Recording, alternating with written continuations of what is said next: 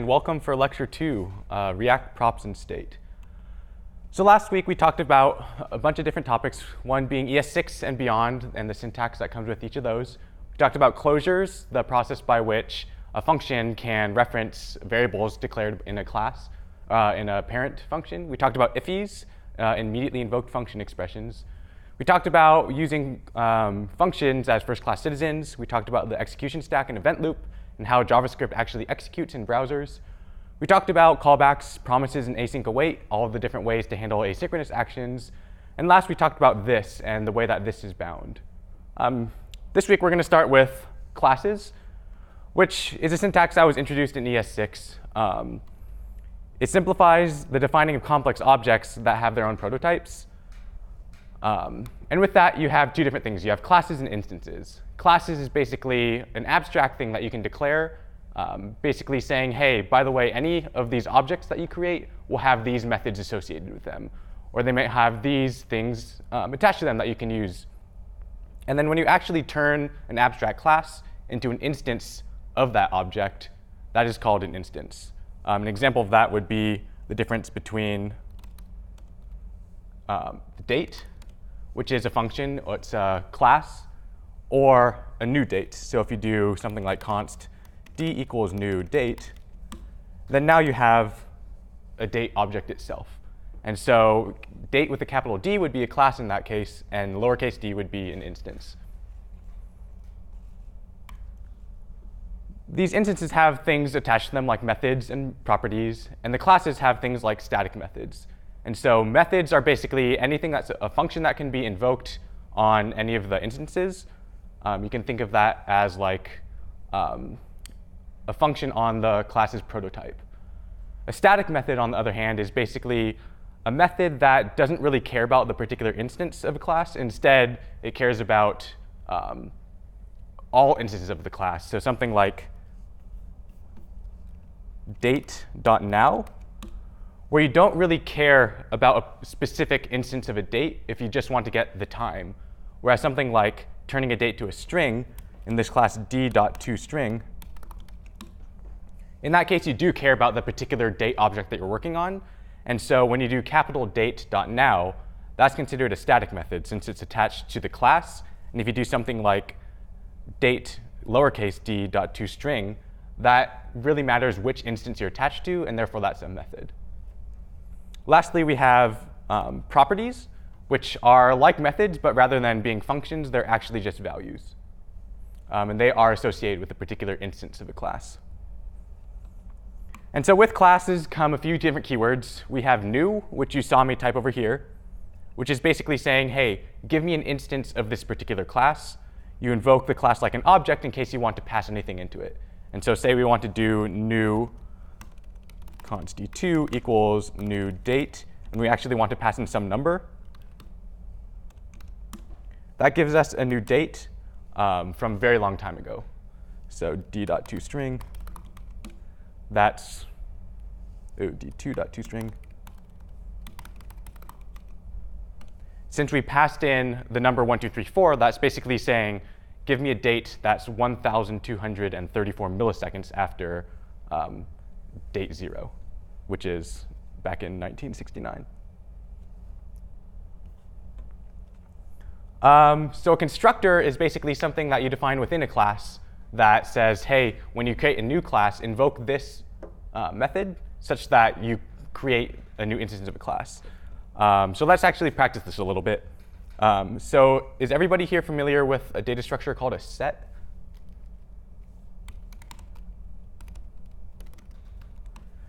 So basically what a set is, is it's um, a list data structure that supports things like add, delete, and inclusion, where you cannot have multiple things of the same value. Or in other words, it's a list of unique values. Um, and the methods that it should support are add, which is basically add to this list, delete, which is basically get rid of something from this, or um, inclusion, which is saying, hey, does this list have a particular value? And it should also have the ability to get its size. And so down at the bottom of the file, I, de I defined a few tests that we're going to run after we implement this, such as um, line 7 here we have const s gets a new set with an array from 1 to 5. which is basically saying, give me a new set with five values, one, two, three, four, and five. We're going to try to do s.add 1, and so we're going to try to add 1 three times to this set. And when we do s.size, we want it actually to only have five members, because you shouldn't be able to add 1 multiple times. Um, down here, we do s.add 6, and then we try s.has 6, and it should contain the number 6. Uh, that bang should not be there. We have, we try to see the size of it, and it should have added an another member. And then down here, we try to delete that and do a couple associated checks with that. And so how are we going to go about implementing this class? So as per the slide over here, we use a method called constructor in order to go ahead and construct an instance of this class. And so within the class, we should have a method called constructor, which takes a single argument. Um, it should take an array or some sort of list to be created with. And what are we going to do? Well, we should attach to the um, instance the array. And that's basically saying when I'm constructed, I expect to have one argument, which is just an array. And the only thing I'm going to do when creating this, this set object is just store a reference to that array by doing this dot array equals array. And so in this case, the this keyword is referring to the instance of that object. Cool, so let's try adding a couple different methods to this. So we should be able to support add, which should take a value. We should be able to support delete, which also takes a value. And we should ha have something called has, which checks for inclusion. So how might we do something, how might we add to this class? Does anybody have any ideas?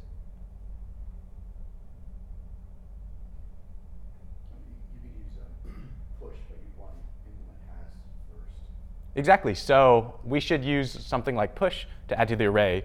But before we do that, we should make sure um, that that number does not already exist. And so maybe we should implement the has method first, which is a great idea. Let's go ahead and do that. So how might we do has? Well, it turns out on the array prototype, we already have something called includes, which tells us if an array includes a value. So we can just do that. We can do return this dot array dot includes val. And so now that we have that, how might we take care of add?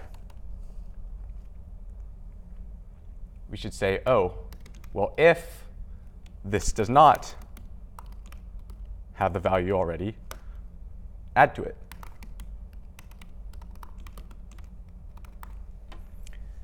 And so here I use this dot has. So this here is referring to the instance of the set. And so this dot has is referring to this method down here on this particular instance. And then when I do this dot array, this still refers to the instance of this set. And so we're just getting at this array property that we have, and we're pushing that value to that array. Cool, so how might we go about this delete?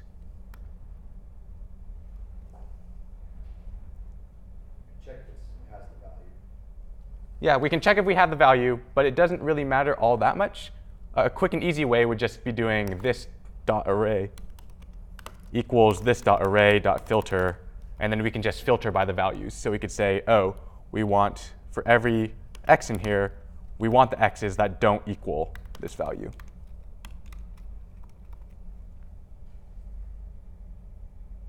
Cool, and so we can go ahead and run this to see if it works.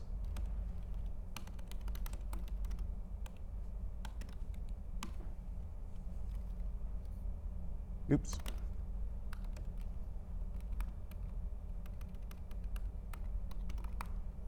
While I'm at it, I should flip these.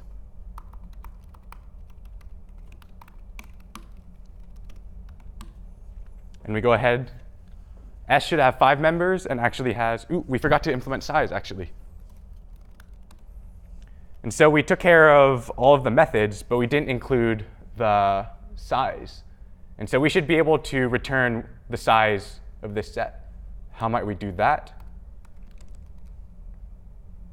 Well, this is interesting. So we should be able to get at this value by doing the instance dot size.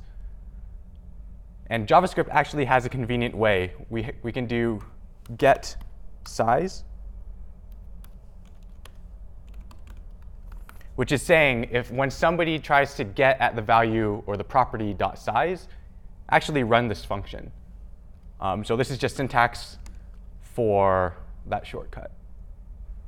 So how, how might we implement size? Yeah. Yeah, just return this dot array dot length.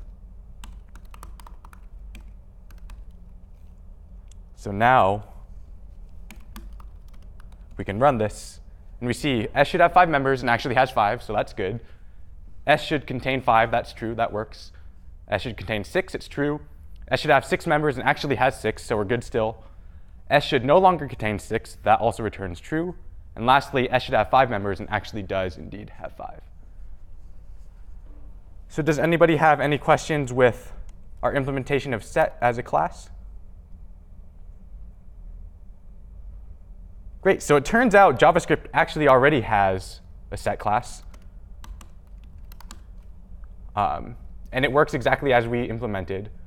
But say we actually wanted to use the native implementation of set and actually add some stuff to it.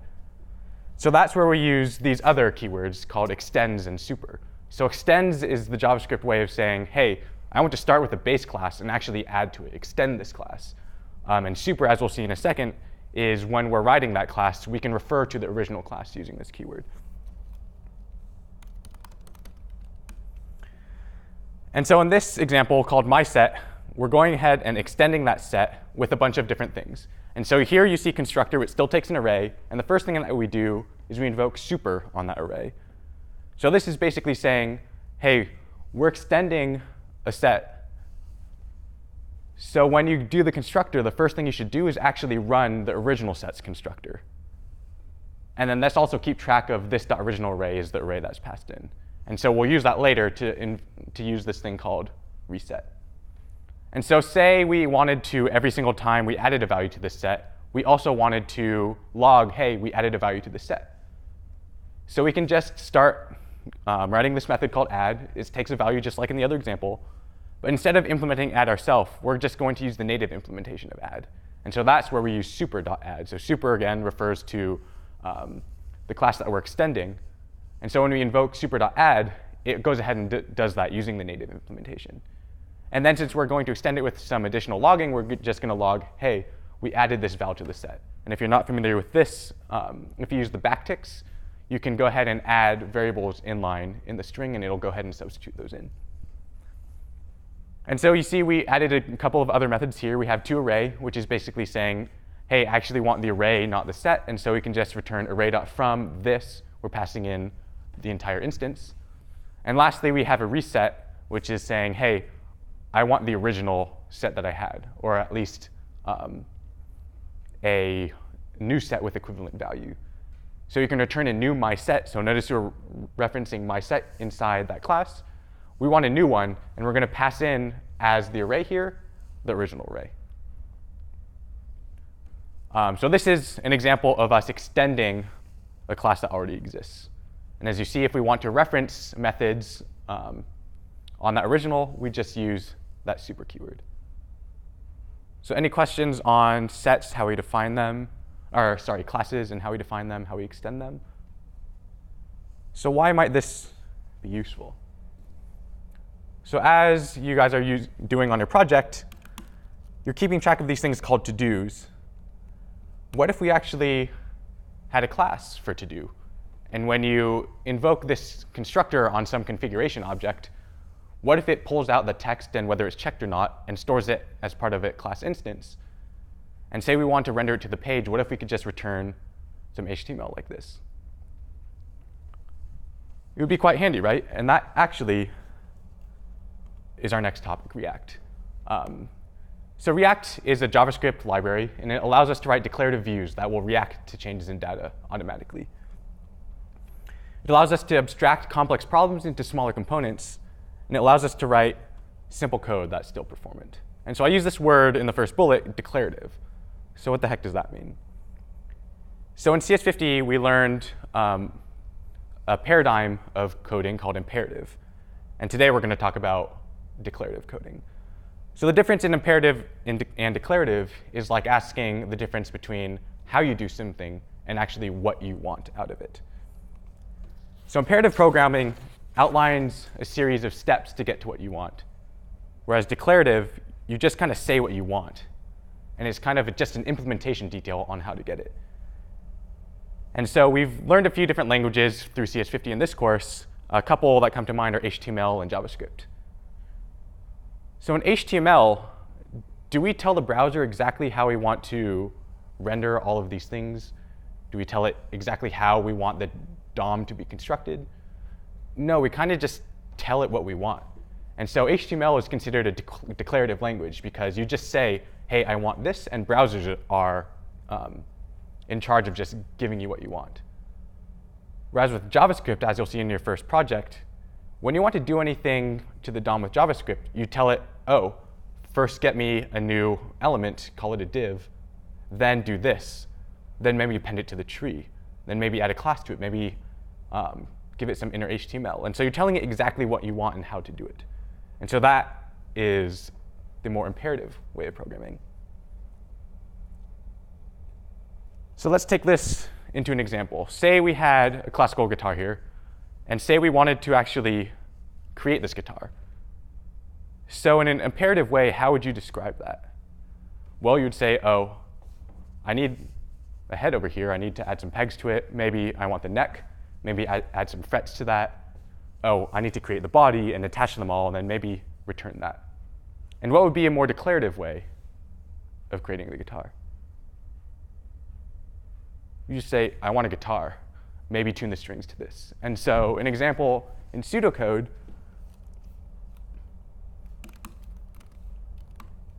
would be like this. So say we have a guitar, and say we have some function called create element, similar to what we have in the document in HTML.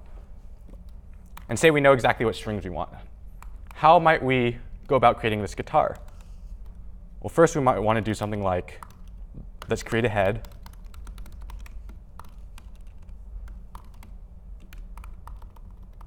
Again, telling whoever's listening exactly what we want. And then maybe for um, six pegs, maybe we want to start adding pegs to that head.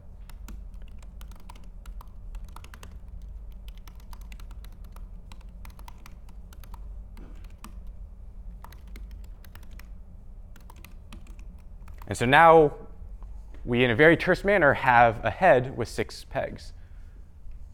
And so we might do the exact same thing with neck.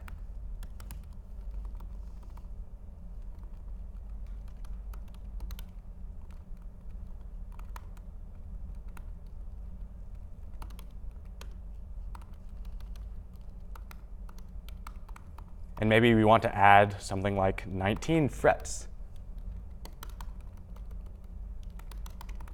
And you can see how this gets a little bit annoying to write, right? And then maybe we do the same thing with body, but we have some sort of for each loop with this, the strings.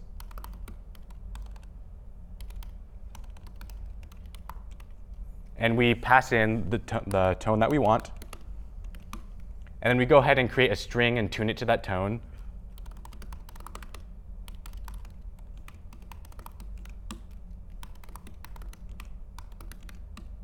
And then we go ahead and add that to the body.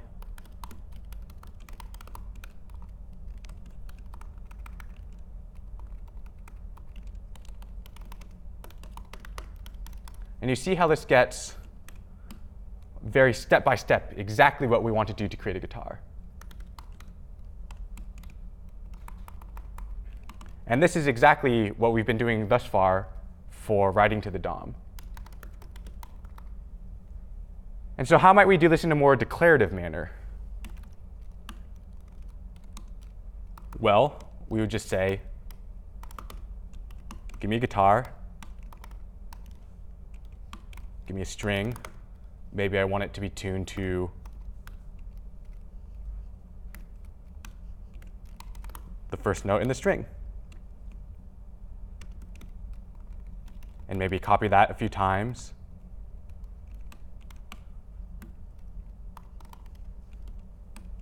And there we go. A better way to do this would be rather than hard coding these, maybe we just do strings.map, and for each note,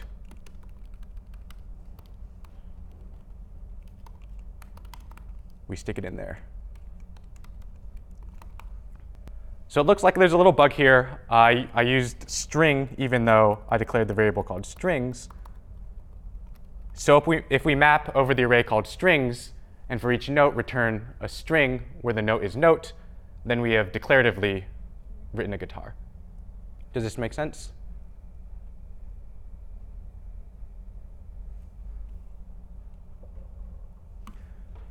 So a great thing about React is that the way that you code is in a very, very declarative manner. The browser APIs aren't super fun to work with. You get to work with them a bit in Project Zero. But React just allows us to write exactly what we want, and the library will actually take care of the DOM manipulation for us. And so what does that really look like?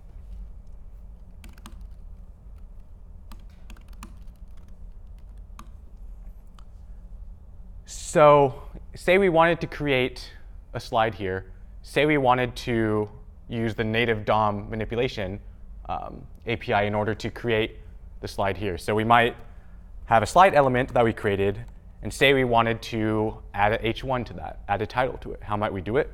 Well, we'd have to do something like const title equals document dot create element, get an h1, and then start adding to that. We can do title dot inner HTML is equal to the slide dot title. And you see how this starts getting to like what we've been doing earlier, where you say exactly what you want, but it might take you a, long time to do. So in React land, this is actually a lot easier.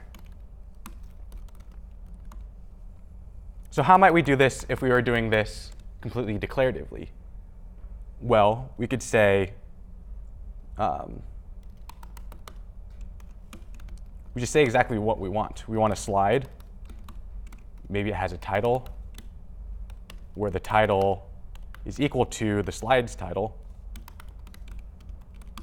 Maybe we have some bullets um, where we can just map through the bullets that we have up there. We can do slide dot, dot bullets dot map. And we can say for every bullet, just give me um, a list item.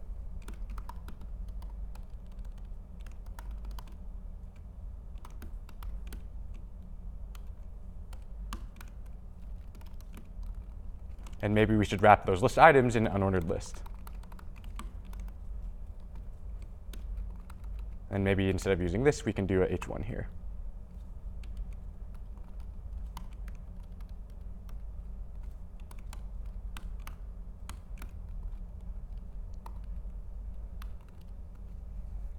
So see how this is a lot more declarative?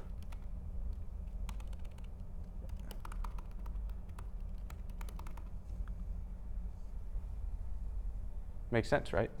It just makes sense. It's easier to read, and it's easier to maintain. So another great thing about React is it's very easily componentized.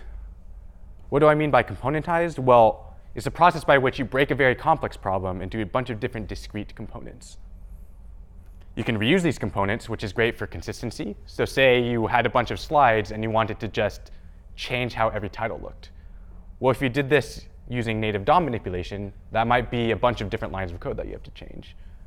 But if you did this using React components, it might just be one line that you have to change, and then just apply it to every single slide that you have. It's also great for iteration speed, because then you can just reuse the components over and over rather than having to cut and paste code all over the place. Another great thing about these components is that React's declarative nature makes it very easy to customize components.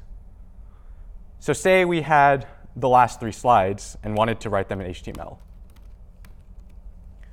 That looked like, it might look like something like this, where you have a div which represents a slide, where the titles React. Notice these are the same three bullets as previously. We have the declarative slide where we have the same bullets as previously. And say we wanted to change this. Say we wanted to make all of the titles have a slightly different style. Well, how might we do that? Well, we'd have to edit this line. We'd have to go edit this line. Maybe down there there's another title that we have to change. Or what if we wanted to even change the structure of how we represent bullets? Maybe rather than using an um, unordered list, we might use an unordered list with a div that wraps the list items. Well, in order to do that, that would be a lot of code you have to change. But imagine that we had broken this up into a bunch of different components. Where might it make sense to break it up? Well, you see us repeating code that looks pretty much the same over here, right? So maybe that should be broken up into a separate component. And so how might we go about doing that? Well, first we have to take extract the information. And so in this um, array here, we have the slides where I've basically just ripped out the information um, for each slide. And so now let's go ahead and implement that slideshow. And so in order to do that, we might have something like where we have a slide, which might take an array, or it might take an object. Let's call it an, a slide. And what will return? Well, it should return a div. Maybe inside it we have that h1. Then maybe we have that unordered list. And then go ahead and close that div.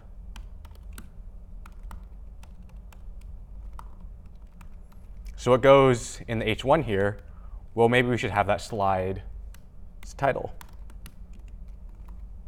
And what about generating those bullets?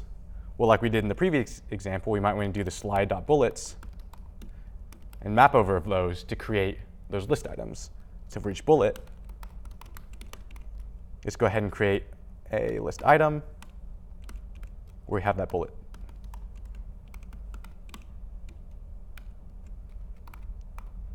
And so now we declared exactly what a slide is. Well, a slide takes in an object representing the slide in the same shape of the object up here, and then it just returns the same HTML that we had in the other example. It's a div that wraps in h1 where we stick in the title, an unordered list that has some list items that represent those bullets. And now how might we create that slideshow?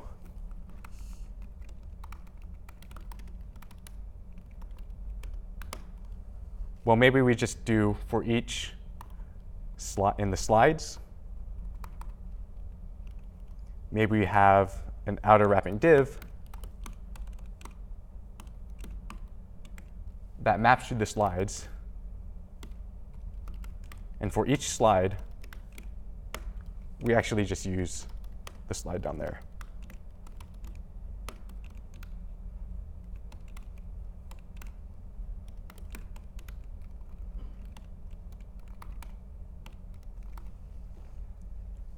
So now we're going ahead and use React and generate basically the same HTML as we had in the previous one.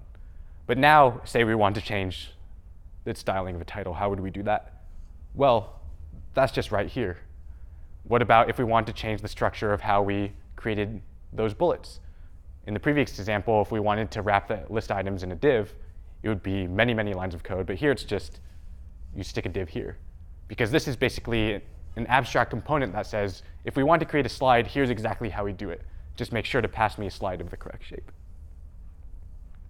And so the React paradigm is to take a very complex problem and break it down into small chunks like this that each solve a discrete problem in that UI. Any questions so far?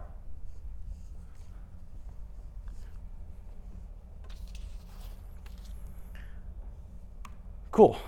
So another great thing is that React is very performant. We just write what we want, and React will do the hard work of playing with the DOM or changing things so that what we have written matches with what we have showing on the page. And so the way it does this, this is through um, an algorithm called reconciliation. Um, and this is the process by which React syncs any changes in app state to the DOM. So what's great about React is that it actually maintains what's called a virtual DOM. And so, and so the slow thing about playing with the DOM is that any anytime you destroy elements or create new elements, that takes a relatively long amount of time. And so the way that React says, maybe we should do this better by, rather than changing stuff in the DOM every time we want to change something, what if we just stored everything in memory? And then with any changes, we can just say, hey, how does this differ from what's shown on the page? And only change what's necessary. And so that's what's done in the reconciliation process. So first, anytime your data changes, React will reconstruct that virtual DOM. Then it will diff that DOM against what's actually there in the real DOM. And it'll make only the changes that are needed. Um, of course, there's an asterisk that goes along with that, but in your mental model, you can just think of it as React will just only make the changes that's necessary. Cool, so how the heck do we write React? Well, there's this thing called JSX, um, which is short for JavaScript and XML, which is basically just an XML-like syntax extension of JavaScript.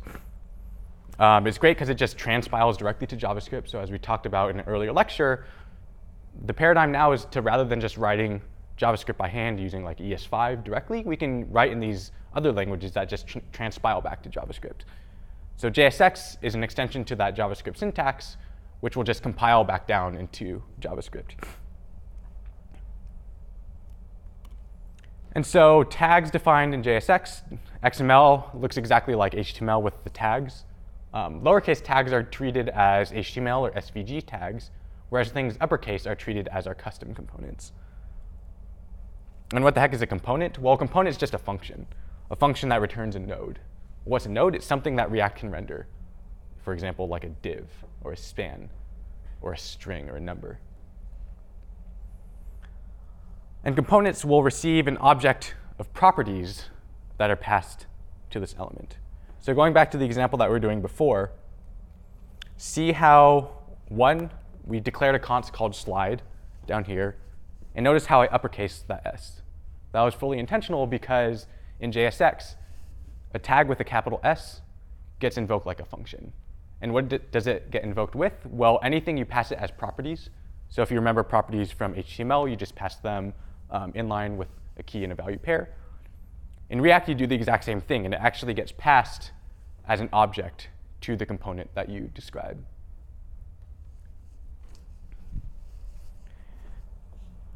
And so now to talk about props. Well, props are just passed as an object to a component and used to compute the return node. So basically, the exact the object that we were just referring to, in this example, we called it a slide. But in React convention, we always call that props, short for properties, like those HTML properties. And any changes to these props will cause a recomputation of that return node, or in React vocab, a re-render. And so unlike in HTML, these can be any JavaScript value. So if you remember back to HTML, when you declare a property, it has to be a string. It might be JavaScript, uh, like a fun JavaScript function, but really it's just a string. And so you can't pass any complex objects um, or like a date object, classes, instances, stuff like that.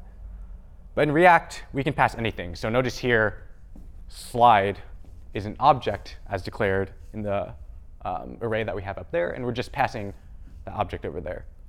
And the way that we pass values in JavaScript is we wrap them in single curlies, which means, hey, execute this as JavaScript. Does that make sense? So let's actually use a live example of this. So there's this website called codesandbox.io, which is linked on the um, website in the resources tab. And this allows us to write React and actually render it live. And so can everybody read this? So basically what's on the left over there is code that gets executed and runs live on the right side here. So if we started editing this, you see it applied directly on the right side there. And so you see we have a const called app, which doesn't care about any arguments it receives and just renders the static um, HTML here. So what if we actually wanted to pass it a prop? So say we passed it something like a count.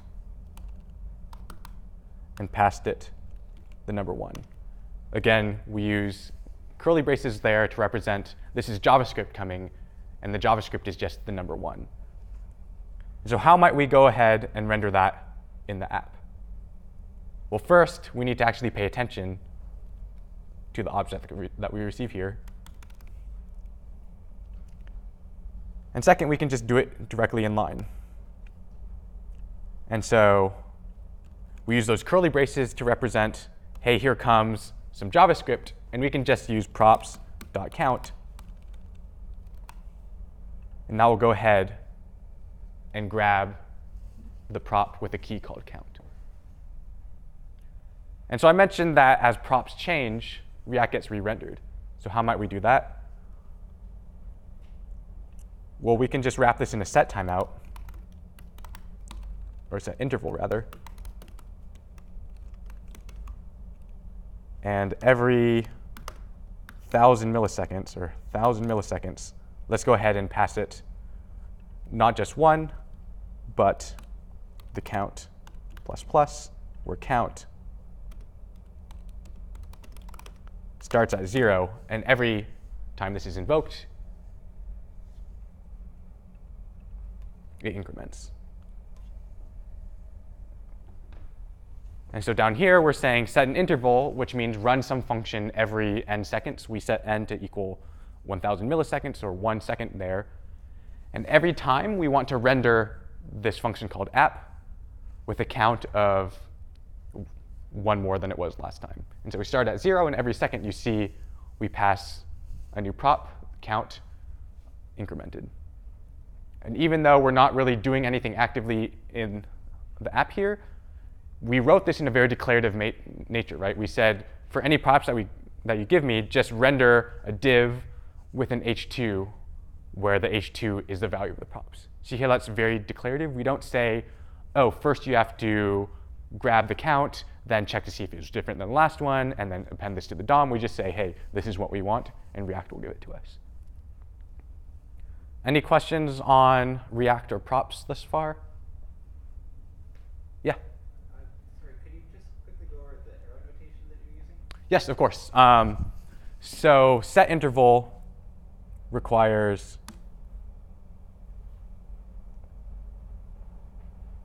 two arguments, where the first one is a function. Oh, so the question was, can you go over the um, arrow notation here? Um, and so set interval expects two arguments. One um, is a function that it will invoke with no arguments. And so I'm just declaring an anonymous function here with no arguments. So I'm saying, here's a function that takes no arguments, and what should I do? Well, I should render this. Um, I could have also written this as this.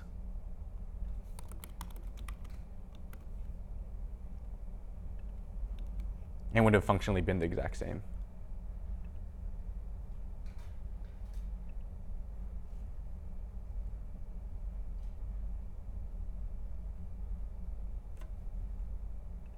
Does that make sense?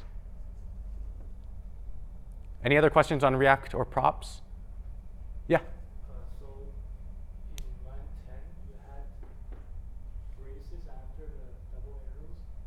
Uh -huh. So in line 10, we have braces after um, the arrow here. Yeah. So that's just saying interpret all of this as one statement. Um, so um, something special about arrow notation is that it has an implicit return, which means we don't actually have to write. So we could have written the same thing as this.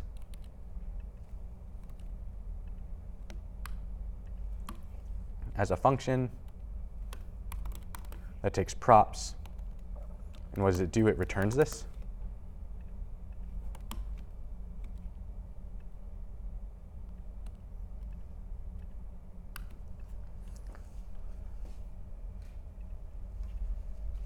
So this actually does the exact same thing. So we're saying app2 is a function that takes a single argument called props. And what we do is we return this. Um, and so arrow notation shorthand is just you have your arguments, an arrow, and then if you don't have um, braces, which refer to it like a code block, it just returns whatever's next. And so we're saying return this. What is this? Well, it's this div in h2, but we're going to wrap it in a parentheses so we know that it's just one value. Does that make sense? Yeah, great question. Do you guys see how this is, these are the same? So this is great, but we don't really have all that much power yet, right? If we wanted to go ahead and change these props, we still have to drop down to this raw JavaScript over here. So next we'll see exactly how we create apps that are stateful. What does that mean? Well, there's this notion of state in React. Um, and state is basically an internally managed configuration for any component. And so now components become classes, and this dot state is a property on that component's instance. So how do we update the state? Well, there's a method called this dot set state, which is implemented in this thing called a react.component, which we have to extend in order to have access to that method. And this goes ahead and changes that value. Um, so you can pass an object to be merged or a function of the previous state. And so if we pass this dot set state an object, it will go ahead and merge that in with the existing state. But if we pass it in an updater function, it's basically a function that gets run when we want to change the state. And these set state calls are batched and run asynchronously. And of course, any change in state will also cause a re-render, because it would be silly if we were to change the state but not reflect that in the UI. And so how might we go about representing state over here? So first, let me copy this so that we can save it.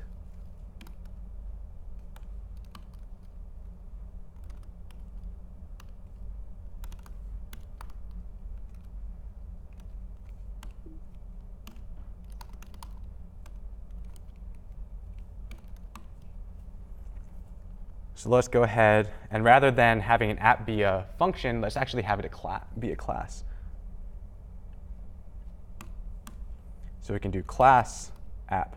And we want to extend react.component.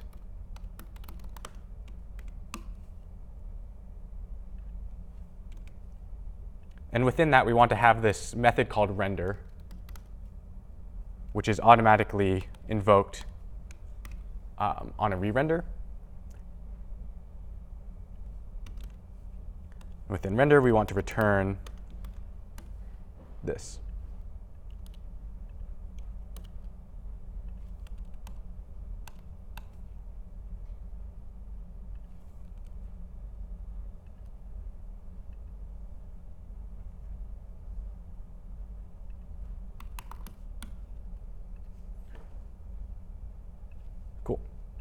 Um, so the way to now write this is rather than having app be a function that takes props and returns something, we're actually writing a class for app. And so as we talked about earlier, classes have instances.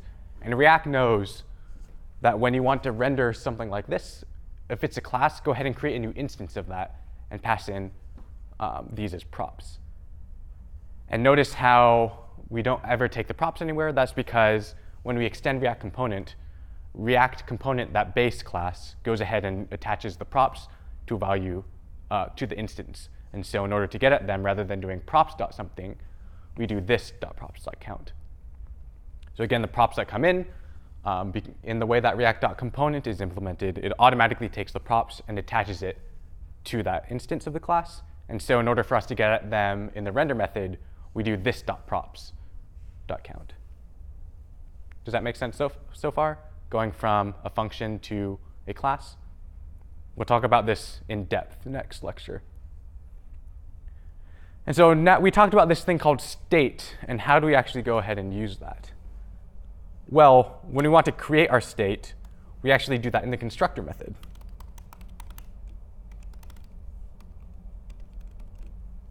And so the first thing that we want to do in our constructor method is actually call super which means allow React.component to do stuff with the props that it would have done with um, otherwise. And now go ahead and do what we want to do. What do we want to do? Well, we want to initialize this thing called state.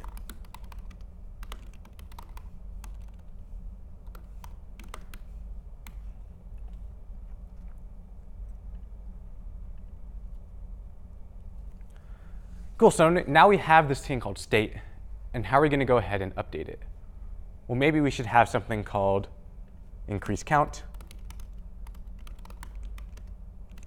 which is a method on this instance. And let's go ahead and increase the count here. So how might I do that? Well, I should call this dot set state and pass in count is this dot state dot count plus one. And so now we have a method on this instance called increase count that we can call, and it should, in theory, increase that count. And so rather than referencing the, the props down here, let's reference state. And now it should be 0, and it's just going to stay at 0 because we're not doing anything. So we can go ahead and get rid of this interval.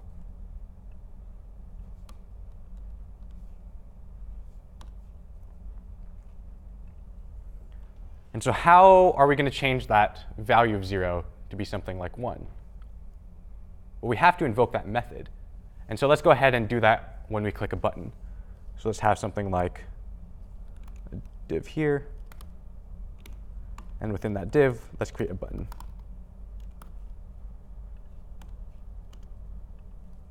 And when we click that button, let's go ahead and invoke this thing called increase count. And that's called increase.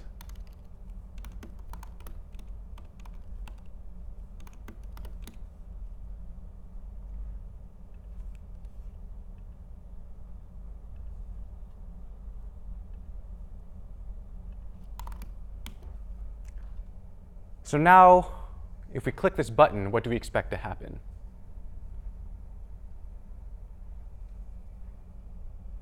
So notice how we pass this thing called onClick. What's the value of onClick, or what function should we invoke?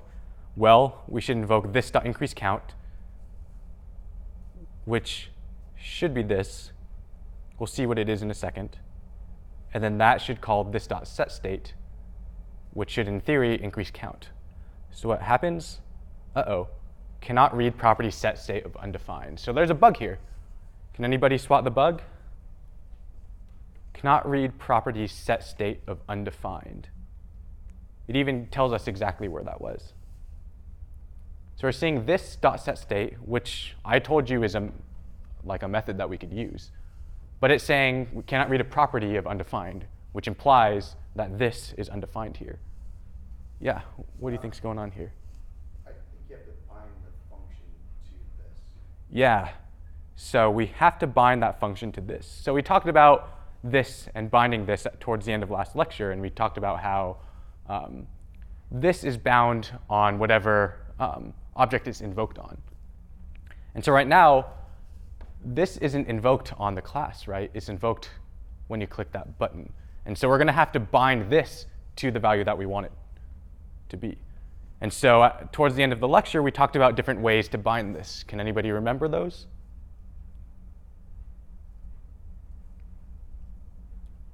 Yeah.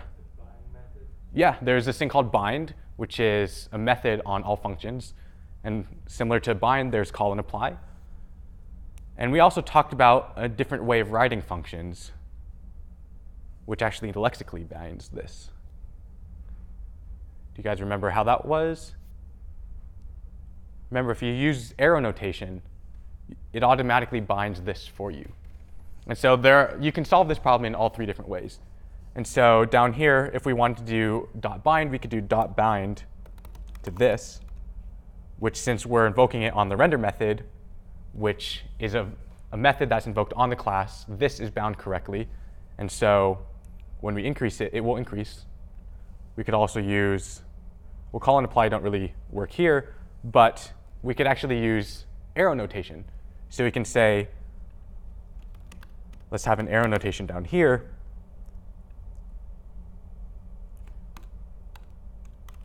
which creates a new anonymous function. And what does that anonymous function do? Well, all it does is, is invoke increase count. And so since this we wrote as an ES6 um, arrow notation, it automatically binds this to be what it, we want it to be. Does that make sense? There are also a different, there are a couple other places that you could do this. You could also do it in the constructor method. You could do this dot increase count equals this dot increase count dot bind this. Or lastly, you could also, and then down here you just have to do this dot increase count. Um, or alternatively, you could actually just define this in the constructor.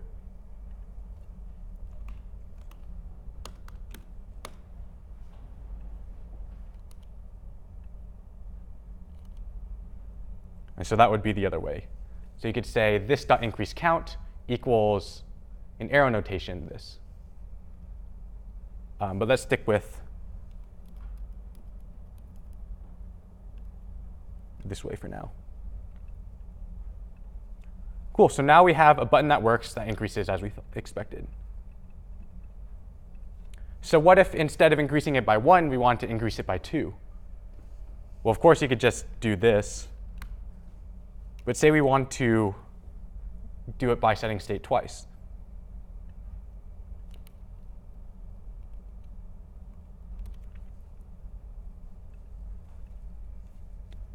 So what do we expect to happen here? You expect it to set state to be count is this dot state dot count plus one is one, and then it to set count to be one plus one to be two, right? But we see it's only going up by one. Why might that be? Well, set state calls are actually batched and run asynchronously, which means React is smart enough to know that if this dot set state is getting called a bunch of times in a row, rather than immediately doing that, maybe it would be better to just batch them and do it all in one go. And like I said, if you pass an object to this dot .set state, it'll just merge it into the new state. And so what is actually happening when we call this dot .set state twice in a row? Well, they get batched together, and so it says, okay, now we, we know we need to um, call this dot, or merge into the new, the old state these two objects. And so it's basically saying merge the current state, in this case it's count is 1, is 0. And then what are we merging into it? Well, we want to merge this dot state dot count plus 1. And then we also want to merge that same thing again.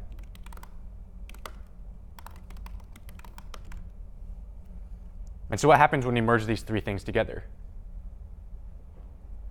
Well, these two get merged together, and it actually turns into this.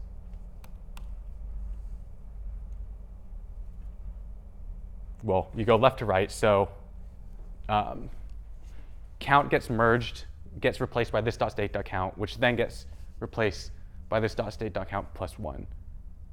And so that is actually just zero plus one, which is why we end up getting a one here. Does that make sense? And so we can prove that it runs asynchronously by logging.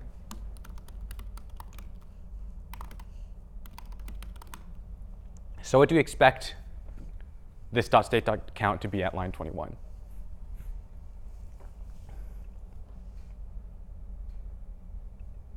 It actually logs zero. Because when we call this dot set state, all it does is add it to that queue that we know is eventually going to execute. Same with this dot set state, it gets added to a queue as well. And so when we get to line 21 here, what has actually executed? Well, nothing. And so this .state.count still has a value of zero. And then only after that do those batch set states run. So what if we actually did care about the previous state, um, the previous count before? Say we want to add one to the previous count, but we actually really wanted that state to exist beforehand. Well, we can pass it what's called an updater function. And that's a function that takes the previous state and returns some new state. In this case, we want it to be the previous state dot count plus 1.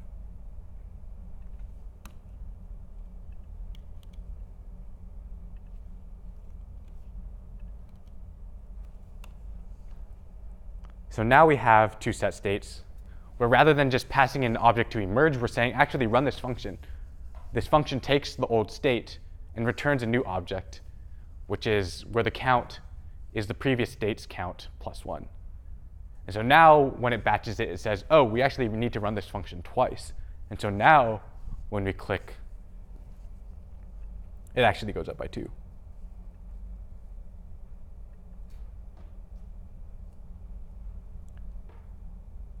So any questions on React, props, or state thus far? Cool, let's go ahead and take a quick break, and then when we come back, we can play with React a little bit more. Hello and welcome back. So before the break, we were talking about React and props and state. And now with all three, we can actually go ahead and start building pretty powerful apps.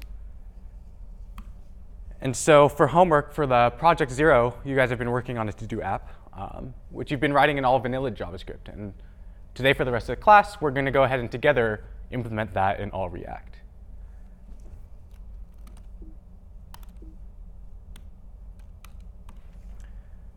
So what are some strategies you may go around doing your thing in vanilla JavaScript? Well, say we had uh, to-dos created as list items, where within each list item, we have an input, which has a checkbox. Maybe you're doing the challenge and you want to take care of the delete as well. And then, of course, you're going to have some span or some way of displaying text. And so maybe you have a couple different functions. One is to create a to-do, one is to delete a to-do, and what might you do in those functions in order to create those to-dos? Well, first, maybe you'll get the text. Then what? Maybe go ahead and using document.createElement, maybe you want to create a list item. Then what? You'll probably have to create the input, then probably create a button, create the span, and maybe at the end you hook those all up together and append those to the list. And so how might you take care of delete? Well, find the to-do. Maybe delete that. Then what? Make sure to update the counts. And maybe we have to do that over here as well. So you see how we're doing this in a very imperative manner. We tell the JavaScript, using JavaScript, we tell the browser exactly what we want to do. Well, we know that our to-dos are shaped like this, so first go ahead and get the text, maybe create that li, create the checkbox, create all these other things, append them to each other, and maybe append them to the list. And so we go ahead and, and we created a new to-do, but we had to do a lot of steps in order to get there. And so what might be an easier way to do this? well into do one, maybe we wanted to abstract out the, the creation of the to-do itself. So maybe in that cre a new create to-do function, we go ahead and make the list item, make the input, make the button, make the span, hook those all up together. But that's one little discrete part of the UI, right? We're going to start to componentize these things. Maybe abstract out a function for creating the to-do, and then in the new to-do, we can still get the text, update the counts, and append to the list. But rather than doing all of this work in the new to-do function, maybe we just invoke create to-do. And so we're starting to break out something that was pretty complicated into now two separate steps, where each step is relatively simple. But still in each step, we have to go about all of these steps in order to get what we want. So what might be a better way to do this? Well, rather than going through the steps where we say, oh, hey, get me a new element called a list item, an input button, and a span, maybe we want to just write that all somewhat declaratively ourselves. And so we can actually do something called inner HTML. So say we created a list item.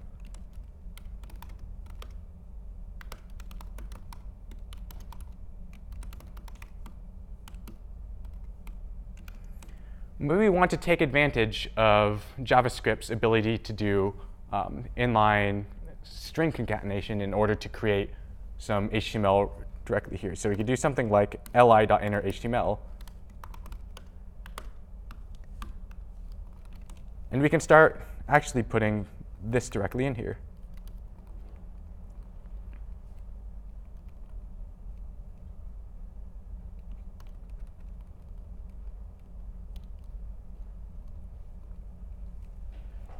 And so this will actually, in a more declarative manner, say, hey, I want an input, a button, and a span, and just stick this in the inner HTML of that list item. And so it's starting to look somewhat like something we've seen before, right? It's starting to represent more of a React component.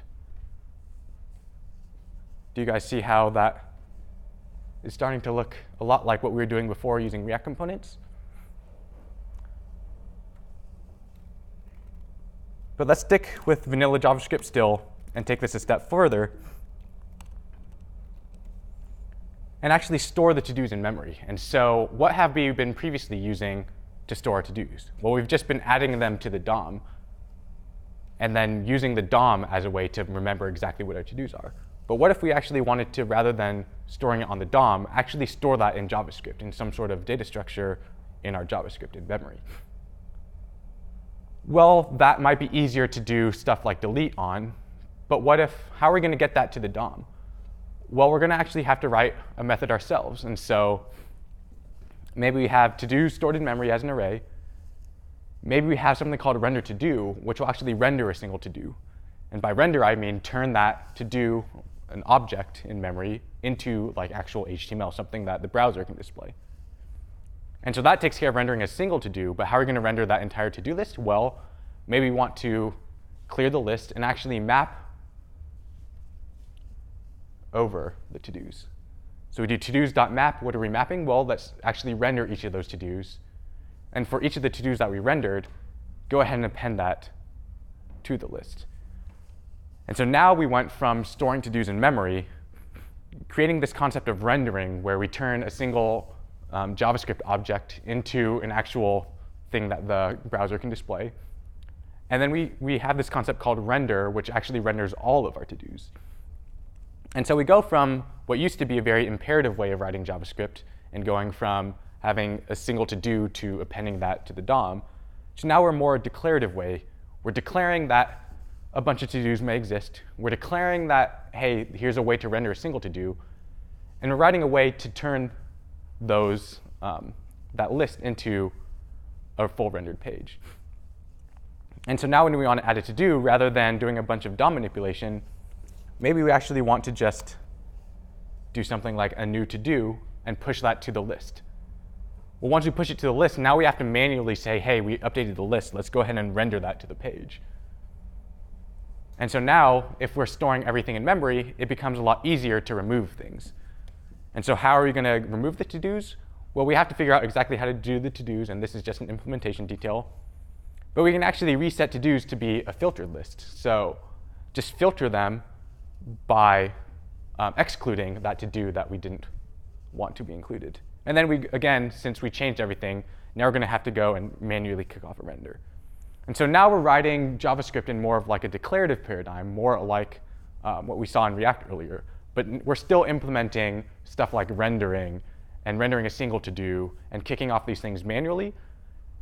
And let's actually see how this looks if we were all to do it in React, where React actually handles a lot of the data um, rendering to the screen using the library rather than stuff that we have to write manually. So let's actually do this from scratch. Uh, first, let me save this.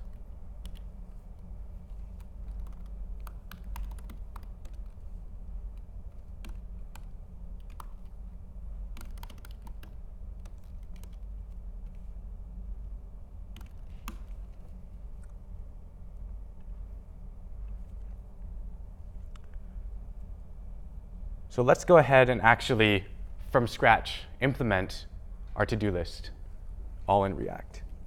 So rather than, so of course we're going to have to store stuff in state. So rather than having app be a function, what might we want to do instead? Have it be a class.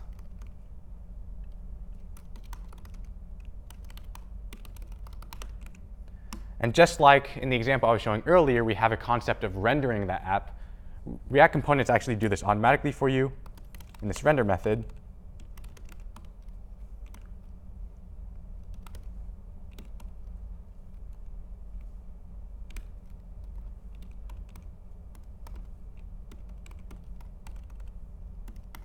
And so let's go ahead and implement that render method.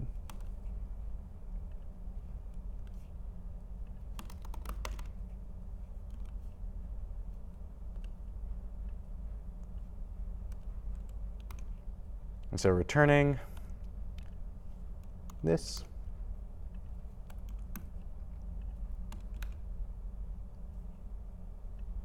And now we have a blank to-do list. So now we have a class called app. It's extending React component, which gives us what? It allows us to have state, and it gives us access to this thing called this.setState in order to update the state. And this render method goes ahead and just renders a blank div with a blank UL. In the previous version of render, why was it returning a Boolean, false specifically? Oh, so the question was in my example to do app 3, why was render up here returning false? Um, so we'll talk about handling events um, in a little bit, but basically the way um, browsers actually all have a way to handle events. And so if you do something like click a submit button, it will automatically go ahead and submit that a form for you and refresh the page. And so a lot of times when we actually want to handle that all in JavaScript, we have to have a way to disable the automatic um, page refresh.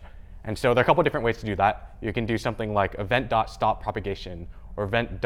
Um, I forget the exact method name, but it's something like stop this event from happening, prevent default, event.prevent default. Um, and a shorthand for doing both of those is just returning false out of whatever handler they do. And so when I do uh, return false from this render, that means if I ever want to do something like add to do and hook it up to a button that might automatically submit a form, um, I can return false from that instead and automatically um, prevent that from happening. And so this is just some shorthand for rather than having um, submit buttons automatically refresh a page, it just blocks that and lets me handle it all in JavaScript.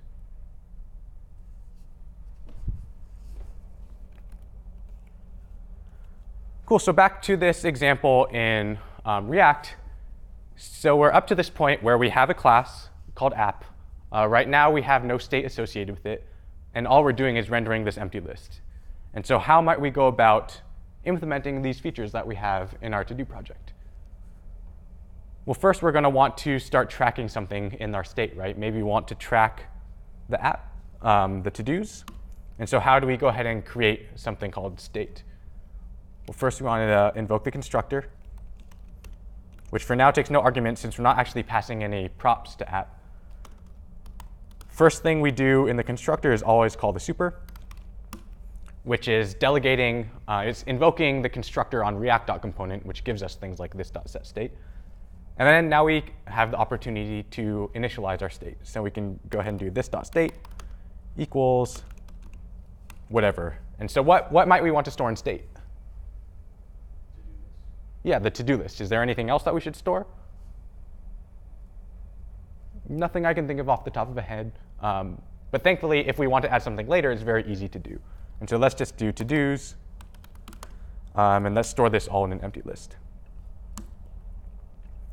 Cool, so now we have this concept of state. We now have this concept of to-dos, which is stored in our state, but we're not doing anything with it. And so let's actually render those to-dos to the screen. Um, so we might want to do it within the unordered list. Let's have something like this.state.todos. And again, we wrap things in single curly braces when we want to execute them as JavaScript. And so we have this.state.todos, which is an empty array. But we, we can't just take for granted that it's always an empty array. The point of writing declarative code is that we want this to hold true no matter what the state is. And so we just assume that this is full of to-dos. And so we can go ahead and map over that and render each to-do. So for each to-do, let's actually create a to-do.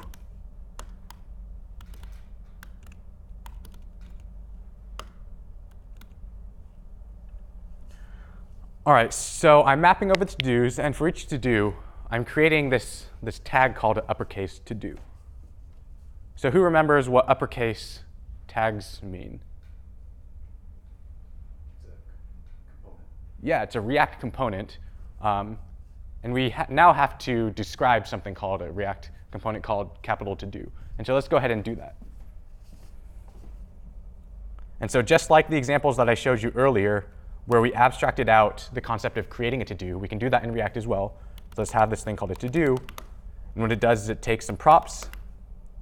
We can call this um, variable whatever we want, but the React convention is to call it props. And what are we going to return? Well, let's just return an ordered list, or a list item. Um, what might we have in that list item? Well, we had an input of type checkbox. We had a button that allowed us to delete. And last but not least, we had some text.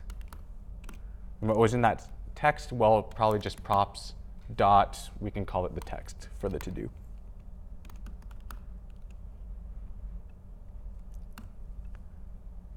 Cool, so now we declaratively just said, hey, every time we want it to do, this is what it looks like. It's a list item, and inside it we have an input. It's going to be a checkbox. We're going to have a button called delete. It doesn't actually do anything for now. And we also have a span. And what's that value of the span? Well, just look at my props and grab the text.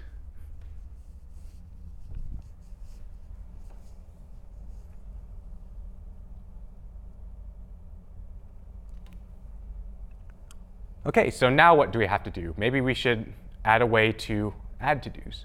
So let's create a method called add to-do. And what should we do first? Maybe we should get some text. So there are many different ways to do this. Let's just, for now, prompt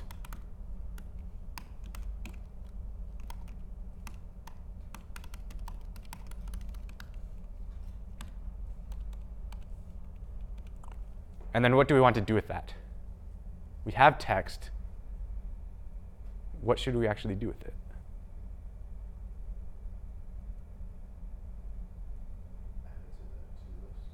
Yeah, we, we should add it to our to-do list. And how are we going to do that? We can just do this dot state equals something, right? No, there's only one way to update state, right? We should do this dot set state. And what are we doing? Well, we should have the to do equal this dot state dot to dos and then additional thing. And so the way that we've added to an array so, thus far is by doing this dot this some array dot push. What that does is it actually mutates the array. And so the way that React knows that it should update um, is it's, it sees if the values that are passed to it are different. And as we learned a couple lectures ago, all objects are actually stored by reference. And so when we go ahead and mutate an object, the reference doesn't actually change. And so the React paradigm is rather than mutating these props, we should actually create new ones. And so a quick way to um, create a new array is by using this dot dot dot notation, which means um, given an array, if you do dot dot dot array, it just pulls out all of those values of the array. And so when we do something like brackets dot dot dot some array, it pulls out all of the values of that array and puts it into a new array. And so this is a quick way of, of cloning an array. And so now the array reference has changed, but the values in there are all the same. And so now we've cloned the array, and now we should add a new to do and so we can do, let's, let's call our to-dos objects that have a text field. Um, and that can be the text.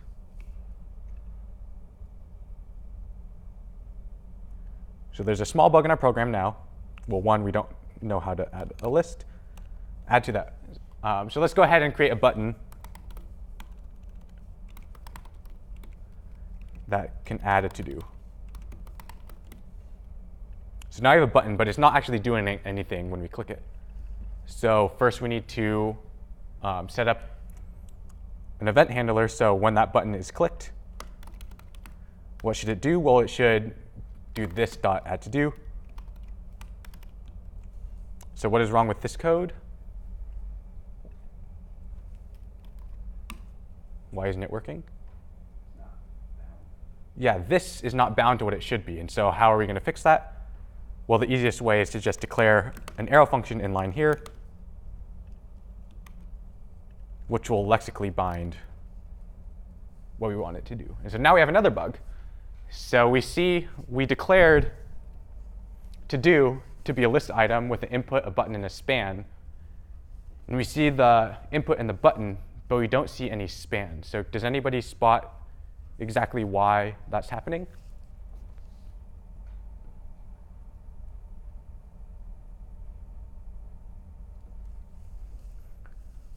So what text are we populating that span with?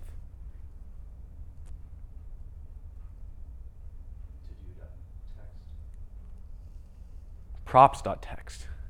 And so what does the object called props, what values are in there? They're key value pairs that are mapped to what are passed in here.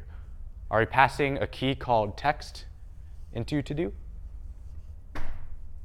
No, we're not. We're only passing something called to do, right?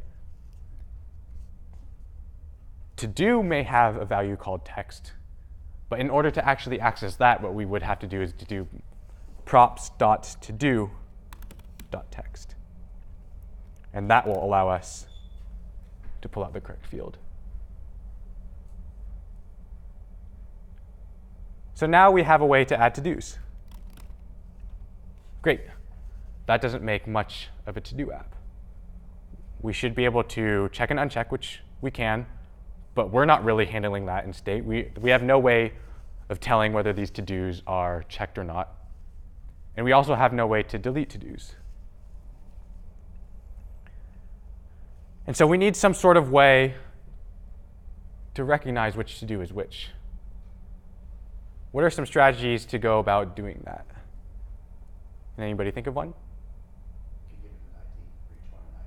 Yeah, we should give each one an ID. That way, if we can guarantee that those IDs are unique, then we'll have a unique way of, re of recognizing each to-do. And so let's go ahead and do that real quick. Um, so easy, a very easy way to do that would be to do something like this. Have some value called ID declared outside, initialized to zero, and every time you create a new one, you, you just increment that. And so now every single time we add a to do, it has an ID field and we're guaranteed that it's unique since it's a counter outside the state of our app. Does that make sense? So how does that help us?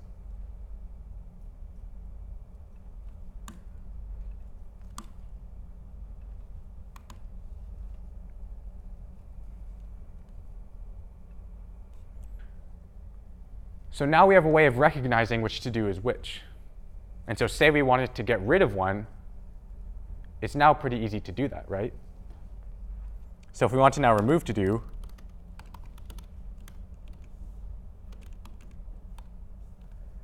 that should be, that should now do what? Does it make sense to have a remove to do with no arguments? Not really, right? Because we need to know exactly which to do we want to delete. It makes sense that we want to add a to do with no arguments because there's no particular to do that we want to add. We, we create that text later. But when we want to remove a to-do, we need to know exactly which to-do to remove. And so now we should have remove to-do actually taking argument. And so what argument should it take? Well, we created some sort of unique identifier field, so we can just take that ID. And so now, what would we, how are we going to remove the to-do? Well, we could do this dot set state, which is the only way to update the state. And the to-dos are what? Can take the old state's to-dos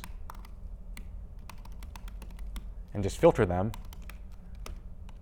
where for each to-do, which, what do we want to keep? Well, as long as the to-do .id is not equal to the ID that we pass in, those are the to-dos that we want to take. Great, but the delete button is not working. Why not? Well, our component called to do is not doing anything when we click on the button. So how might we handle that? Well, that's where props come in. Since um, we can pass any JavaScript value as props, what's to stop us from just passing a function down? And so when we map over the to-dos like this, we can actually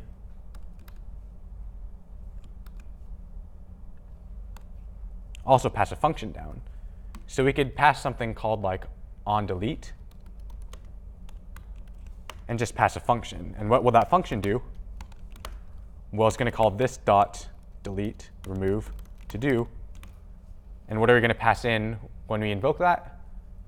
Well, this to do dot id.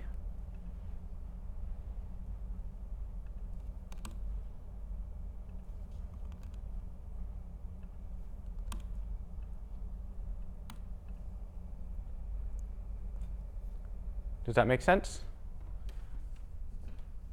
So we're mapping over to-dos, and for each to-do in that array, we're going to invoke that to-do function, that component.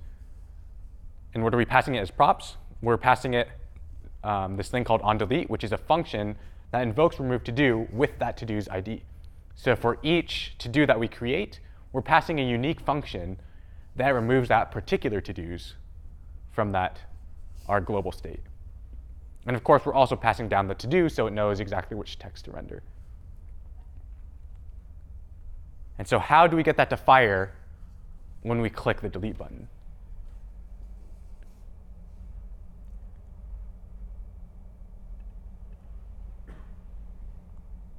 Well, that function's just a prop, right? So when we click that button, what should we do? Well, we should invoke props.onDelete.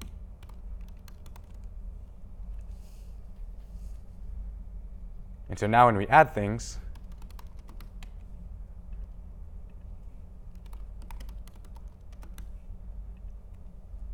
if we click that button, the correct one's deleted.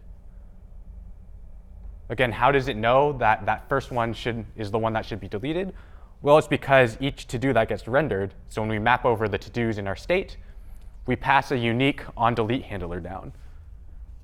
It's a function that gets bound to that particular to-do's ID field. And so when we click that particular to-do's delete button, it invokes remove to-do with that ID, and so it knows to filter based on that particular ID.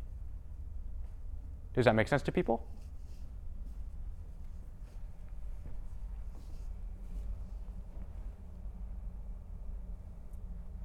Great, so we've, we've handled the two big parts, well, the add and the delete part of the, of the assignment. And so what are we missing?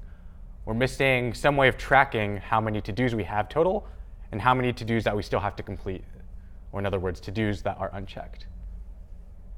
And so now we have a choice. How are we going to handle this? Well, if we were back in vanilla JavaScript world, a way to do that would just be to keep track of however many unchecked there are, keep track of however many total there are, and just mess with those values every single time we add, delete, or um, check or uncheck a to-do. But in React land, that seems a little imperative for a like, and so there might be a more declarative way to do this. But in order to do that, we also need to track every single to-do, uh, whether it's checked or not. And so currently our to-dos are um, an ID field and a text field, but maybe it would be better to also add a field of whether it's checked or not. And so now when we add to-dos, we add an object with three keys. An ID, which is guaranteed to be unique, because we're incrementing this ID counter, which lives outside of our app. The text that we prompt for. And lastly, a value called checked, which keeps track of that, whether that to-do is checked or not. And we should just initialize it with false, because there's no point in creating a to-do that's already done. Cool. And so now we're still missing one thing. So when we add, when we create to-dos, we just create an empty checkbox. And so no matter what, it's going to be unchecked. And so we should set that checked field to equal whether that particular to-do is checked or not. And so how might we do that? Well, props dot to do dot um, check. And so now that keeps track of whether to-do is checked or not.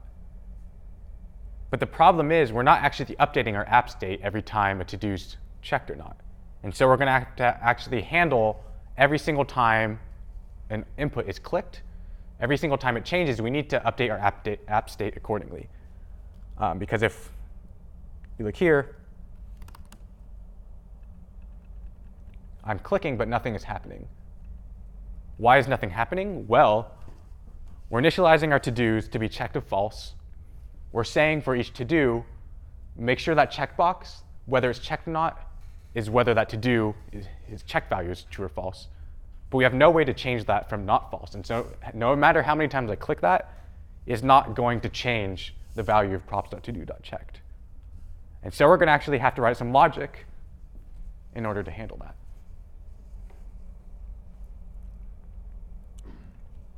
And so now let's create a new method called toggle to do. We're obviously going to need to take an argument here because we need to know which to do to toggle. And so what are we going to do here? So again, we're going to do this dot set state. And we can do to-dos. It's this dot state dot to-dos dot map.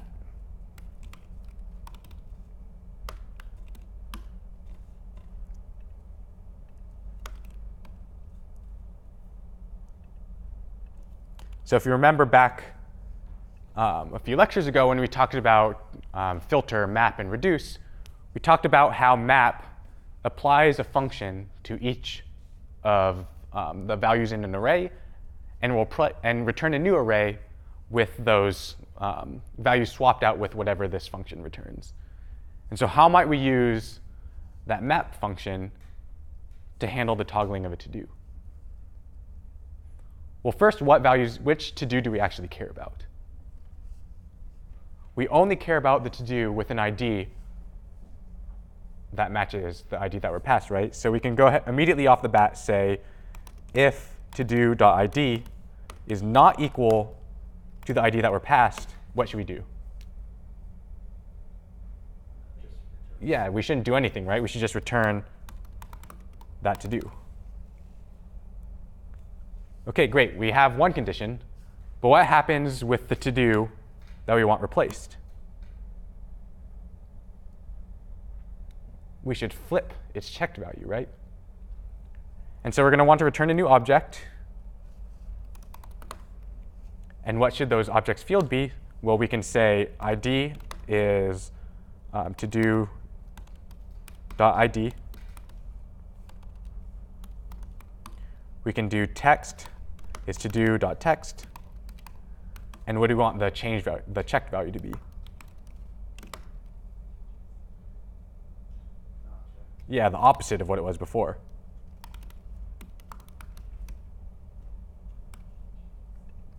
And now it looks like we should have something that works. The problem is it doesn't.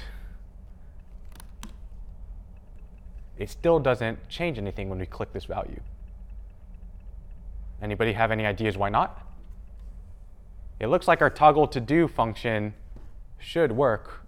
We're setting state, we're updating the to-dos, we're mapping over this with this function where if the to-do's ID doesn't match, we don't change it. But if it does, we flip the check value. But when we click over here, nothing actually happens. Why might that be? Yeah?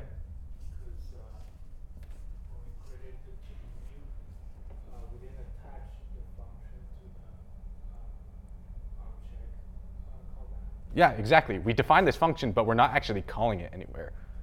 And so just like we have this on delete that passes a new on delete function to every single to do, we should also have this thing called like on check or on toggle that passes a unique function to each to do that we should invoke when we toggle it.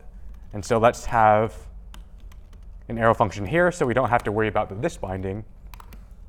And when on toggle is invoked, we should do this dot toggle to do with the to-dos.id. And so now since we're passing a new prop here, we should probably invoke that prop at some point. Um, and so where are we going to do it? Well, we can do it in the input. We can do something like on change equals props dot on toggle. And how do I know that this on change attribute exists? Well, you can read the docs and you'll be there, or you can wait till next lecture when we talk about event handling in React. And so now we can create a to-do, and when we click it, look at that, it works. Cool, so now we're tracking every single to-do, whether it's checked or not. But that wasn't really the goal, right? The underlying goal was to keep track of how many to-dos there were and how many unchecked to-dos there are. And so how might we do that? Well, first let's create some divs.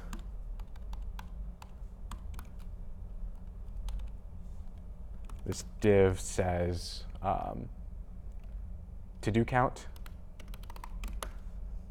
And then we're going to have some JavaScript in line there. And then maybe a div for, for unchecked to do count. And again, some JavaScript. Cool, and so what, what is a quick and easy way to calculate how many to-dos we have?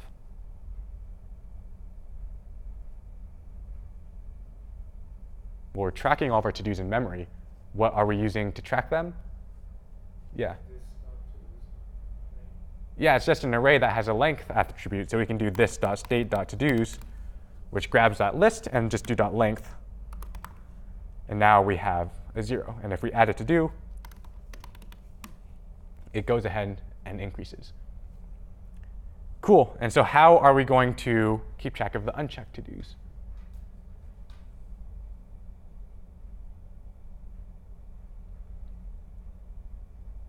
Well, we know we're tracking every single to-do and whether it's checked or not.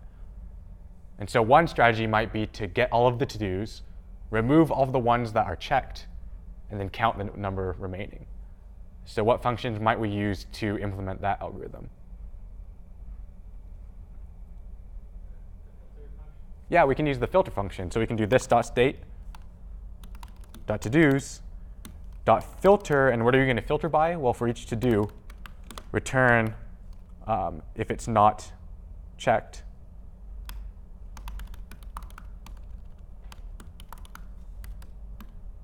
And then we're left with a new array, and we can just grab the length. And so if we do a test, now we have it unchecked. What happens when we check it? Well, that's going to get filtered out here. And what's left um, is an empty list, and we grab the length of that, and we have 0. What happens when we delete it? Well, we don't actually have to update any logic because everything's handled completely declaratively.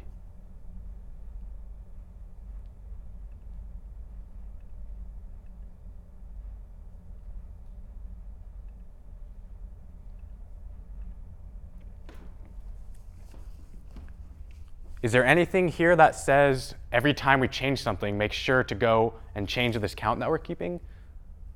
Not really, right? We just assume that we have some to-dos and some data that's coming down, and we just run calculations based on that data. And so we're just declaring what we want based on any data that's passed into us. And so React, in that way, is very declarative. And so this is great if we want to add any new features. We don't really have to worry about oh, what is every single possible method that we need to update this new feature with? Whereas if we were doing this in more vanilla JS and more an imperative nature, we would have to make sure, oh, if we want to also keep track of the count of checked to-dos, we're going to have to check every single method where that number might be affected and go ahead and update it there. And so keeping track of all of that in your mind might create bugs that you uh, might not otherwise if the paradigm were more simple. And so this is a much more simple way of saying, hey, given some app state, go ahead and render an app based on that state. Any questions? Yeah. So when you set the state and you, uh, for that to-do key, like if it didn't have like a different reference to a different array, it would not do anything. Like, does it re-render? Um, can you repeat your question? Um, so when you set the state, Okay. don't create a new array and you modify the existing array of to-dos, um, does that still work? Mm. Um, so the question was, if we did, if we rather than replacing the old state dot to dos over here with a new array, would it still work if we were to mutate the array? And the answer to that is it depends. Um, it depends on the React component that you're using, and it depends on um, some other methods that you could um, write, that we'll talk about in future lectures.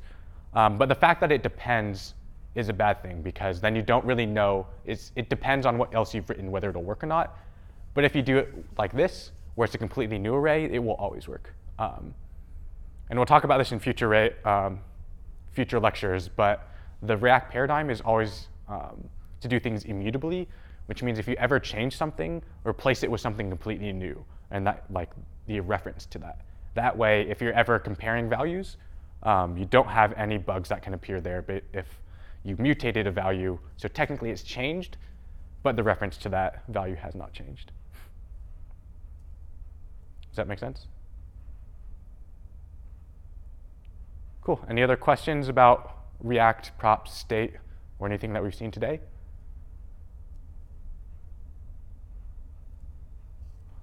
All right. So we've talked about to do app.js and using React on the web. But why limit React just to the web? So there exists this thing called React Native, which is a framework that relies on React Core and the core algorithms implemented by the React library. But it's actually a framework that allows you to do much, much more. It allows us to build mobile apps using only JavaScript. And so when Facebook released this framework called React Native, they released it with the tagline, learn once, write anywhere. So you only have to learn JavaScript once. You only have to learn React once, but you can actually write it and it'll run anywhere. Um, and this supports both iOS and Android. And so I'll leave you there for this lecture, and next lecture we'll look at this thing called React Native and how to run JavaScript um, for mobile apps.